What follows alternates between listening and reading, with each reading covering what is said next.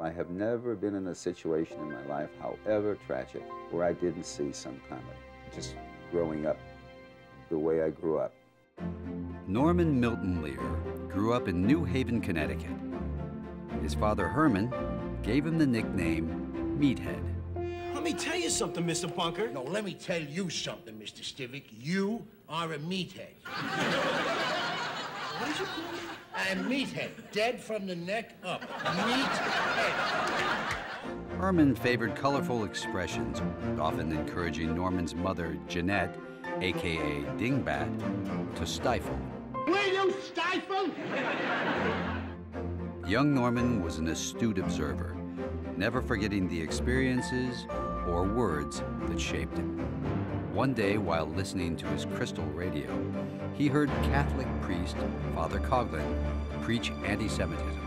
We believe in Christ's principle, and I challenge every Jew in this nation to tell me that he does not believe in it. Norman remembered that sermon for the rest of his life.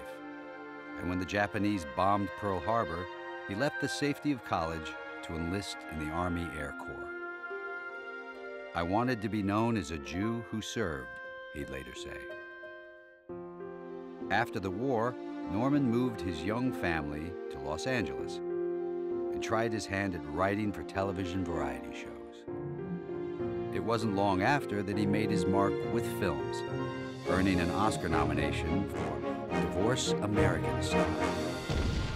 But all the while, the country was facing social turmoil and a revolution of ideas. Bombs in Vietnam exploded home. Stunned by the banality of television, Norman put a spotlight on the issues of the day and made us confront our own humanity.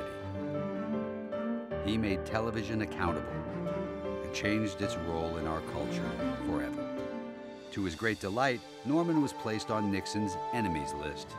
And yes, there's a tape.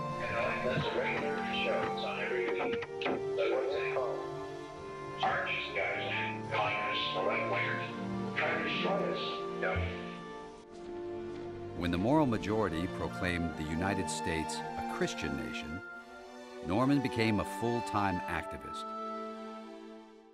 He founded People for the American Way and wrote television specials that celebrated our liberty. You can call me Old Glory, but let's just keep it simple. Uh, just call me Flag. In 2000, Norman bought an original copy of the Declaration of Independence and toured it around the country so kids could see the nation's birth certificate. Norman, you're a patriot, a family man, our friend, and one of the most influential producers of our time. And for that, we the people are grateful.